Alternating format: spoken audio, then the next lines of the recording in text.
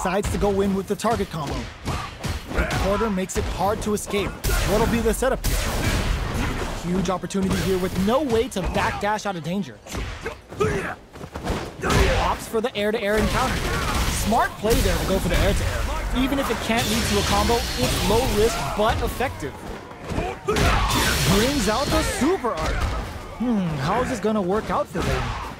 Closing moments of the match. Tags him and takes the W.